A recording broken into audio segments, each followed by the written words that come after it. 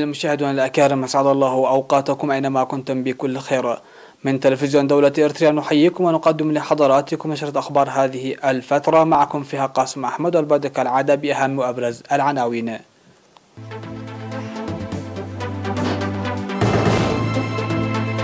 إصابة عشر مواطنين بفيروس كورونا.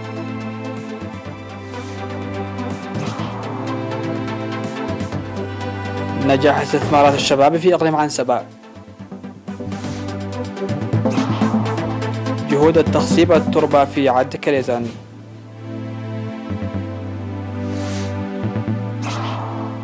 الولايات المتحدة تعد بسحب قواتها من أفغانستان من دون شروط.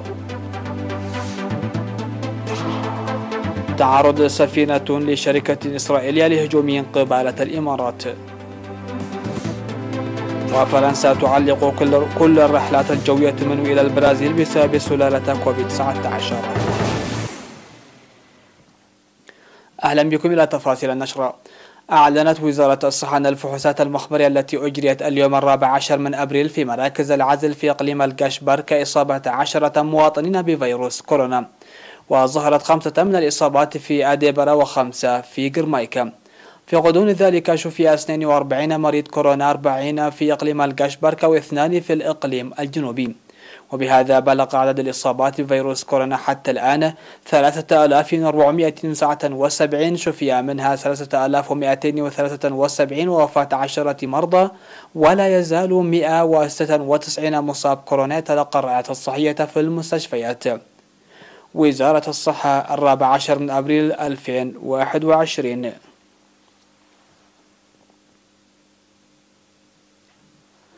أوضح الشباب الذين قاموا بالاستثمار في مختلف المجالات استفادة من المناخ الملائم والدعم المقدم.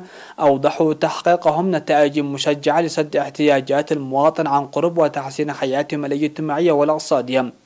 وقال الشاب علي همد السناي الذي يملك مرفق طوب البلوكيت والأنابيب إنه يعمل بتركيب المعدات في تجهيز الدواب أدوات البناء والبنى التحتية وتمكن حاليا من صد بعض المواد التي كانت تستورد من الخارج. وذكر أن يساهم حسب المستطاع لتدريب الأيتام والمحتاجين من مختلف الأعمار ليتمكنوا من الاعتماد على الذات ولديه برنامج مستقبلي لإدخال المعدات وسد النواقص للقيام بأنشطة جديدة. وأفاد عمال المرفق بأن التدريب الذي تلقوه واكتساب الخبرة أحدث تغييرا في حياتهم. من جانبه أوضح الشاب ناصر النور الذي كان ينشط في الكتابة والترجمة وافتتح مكتبة باسم إيرات أن النتيجة التي وصلها كانت للجهد الذي قام به وتشجيع المؤسسات الحكومية.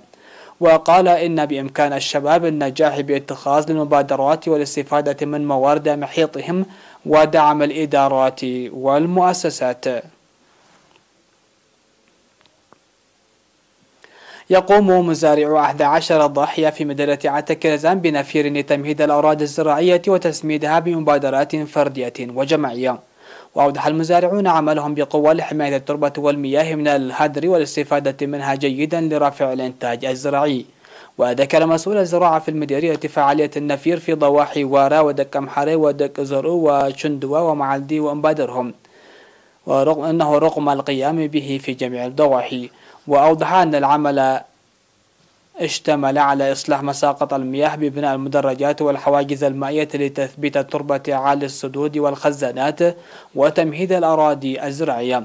من جانبه أوضح مسؤول التنمية الأقتصادية في المديرية تنفيذ أعمال مرضية من أنشطة النفير التنموية التي بدأت في شهر يناير الماضي في كافة أنحاء المديرية بالمشاركة الفاعلة المواطنين وتعاون المهنيين الزراعيين والإدارات.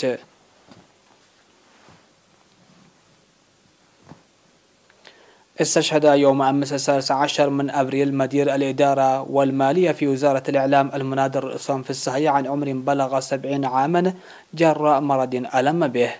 التحق المنادر الرئيسان في الصحية بصفوف قوات التحرير الشعبية في شهر مارس 1975 ووظف مباشرة في جهاز الإعلام وهو من أوائل مؤسسي قسم التصوير في الجبهة الشعبية لتحرير إريتريا وقام المنادر عصام في الساحية بعمل مميز ومستدام لتوثيق تاريخ النضال التحرري للشعب الإريتري بالصور من عام 1977 وحتى 1991 وعمل المنادر عصام في الساحية بعد الاستقلال من عام 1991 وحتى يوم استشهاده بتفاني وإخلاص في مختلف أقسام وزارة الإعلام بمستويات المسؤولية التي وصلت إلى مدير قسم والمنادر رأسهم في السحي رب أسرة وأبل ثلاثة أبناء.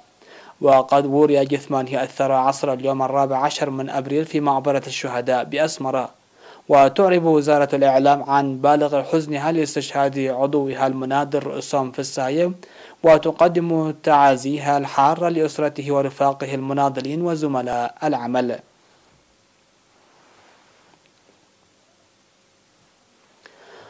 فاصل قصير من ثم نعود لمتابعة الأنباء على الصعيد العالمي فتفضلوا بالبقاء معنا.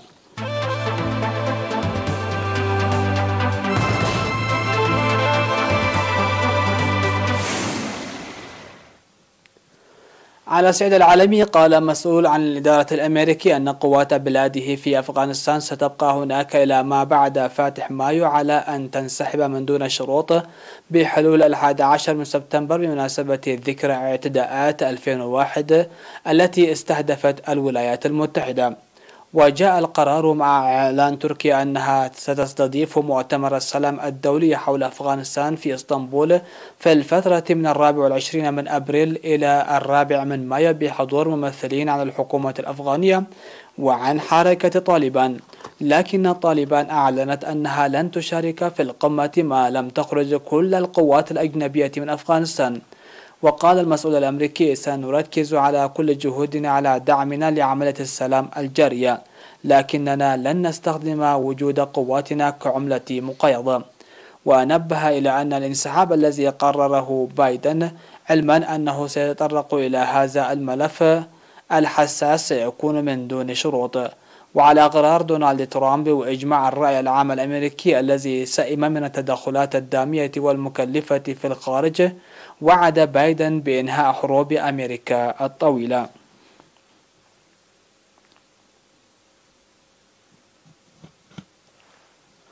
قالت وسائل إعلام موالية لإيران وقناة تلفزيون إسرائيلية أن سفينة تجارية مملوكة لشركة إسرائيلية تعرضت للهجوم في مياه الخليج قبالة الساحل الإمارات. وذكرت قناة 12 التلفزيونية الإسرائيلية أن مسؤولين إسرائيليين لم تنشر أسماءهم. حملوا إيران مسؤولية الهجوم الذي وصفته القناة بأنه هجوم صاروخي.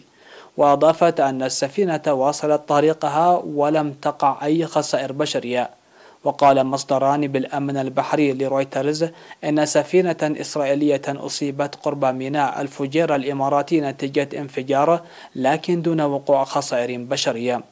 ورفض المسؤولون في مكتب رئيس الوزراء الإسرائيلي بنيامين نتنياهو ووزارة الدفاع التعليق على الواقعة وقال متحدث باسم وزارة النقل الإسرائيلية إنه على علم بالتقارير الإعلامية لكنه لا يستطيع تأكيدها ولم يصدر التأكيد بعد من الإمارات.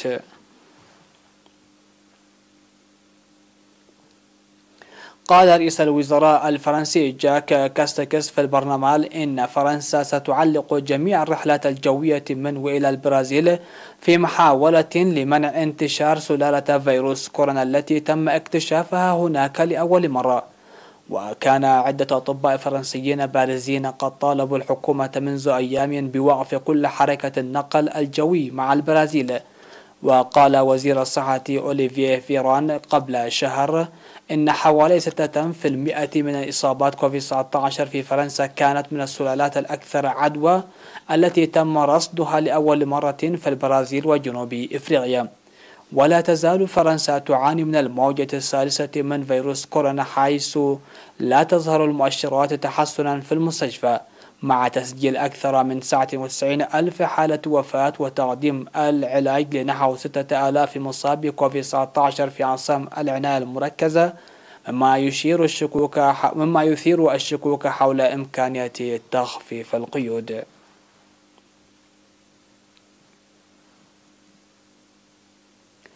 الخبر الأخير في هذه النشرة اشتعل حريق هائل داخل حديقة صناعية بالقرب من سيسيتا إسبانيا مما تسبب في ظهور بثور الدخان حتى مئات الأميال بعيدا في العاصمة مدريد.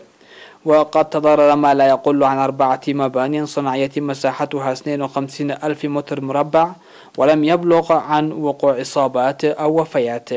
تم ترميزها لقضايا الطوارئ في منطقة مدريد في أربعة مباني صناعية على الأقل تغطي مساحة 52 ألف متر مربع متأثرة بالأرضية المنهارة والجدران المحترقة.